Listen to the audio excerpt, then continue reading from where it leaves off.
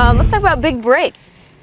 Did you find that it was um, that stressful? Because it seems like contestants are under a lot of stress. They are. And the biggest thing is, well, the hardest thing is, first off, is when you're on the big break, you have one shot. If you hit one good shot, one bad shot, one mediocre shot, and it's not good enough, you're off the show. Yeah. It's not like you have 18 holes or nine holes out here after you make a double, hit a bad shot, make double. It's not like you have that many holes left to come back from To it. redeem yourself, yeah. Right.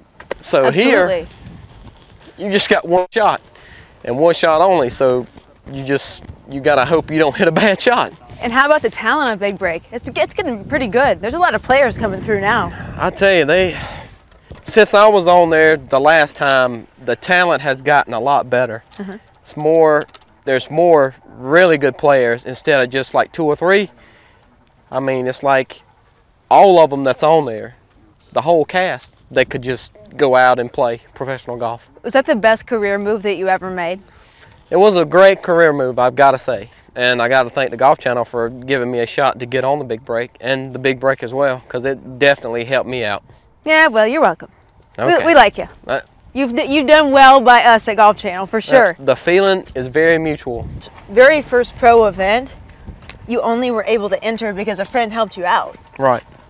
How did he help you again? He, pay, he paid the entry fee? I was working six days a week at A.O. Smith, and I'd known him for a long time, and he said, well, there's this teardrop tour coming to Columbia. He said they're playing at Woodcreek Farms. You know, I'll pay you entry fee once you, once you play in it. I said, oh, okay. So he paid 600, 650, and I paid the rest, which was 100, 150, so no big deal there. So I ended up winning the tournament, and I and I told him, I said, listen, I'll get how much of this do you want? I said, I'll give it all to you because really you paid the entry fee. He said, no. He said, listen. He said, I paid, I paid this because I think you're special. I see something in you that that's special, and for him to take a chance on me, albeit it wasn't but just a little bit of money, but winning 15,000 and he didn't want anything in return, told me that he was trying to help me succeed.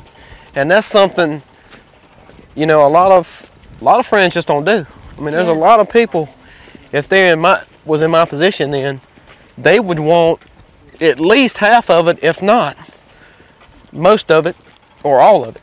And so basically he just said, You're special, man. I I just want to help you out because I think you've got it.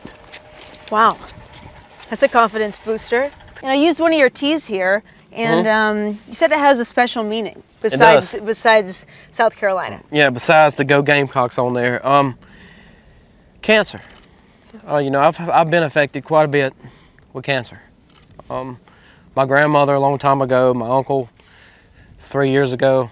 Um, it's something that just something's got to be done about it, and I know I'm sure all the attention everybody gives it about trying to find a cure, but you know, it's affected me with my family.